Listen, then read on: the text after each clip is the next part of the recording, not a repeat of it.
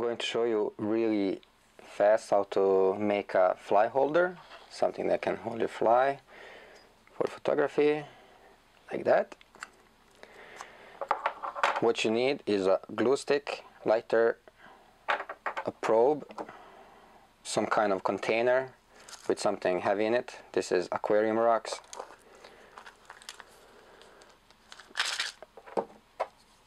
And you can of course use epoxy or anything any kind of other glue.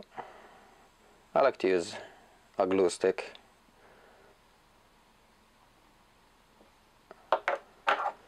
It's more environmentally friendly.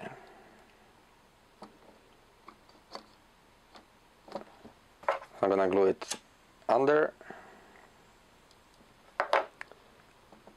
And I'm gonna put some around.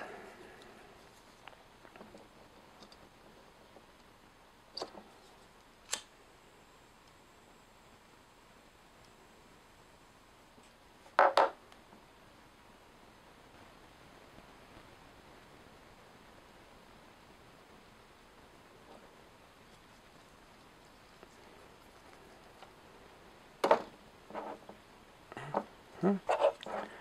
Just a bit more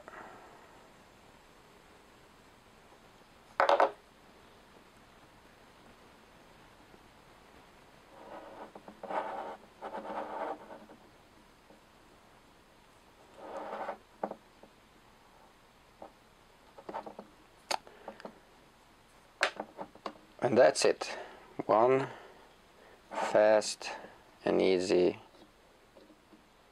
fly holder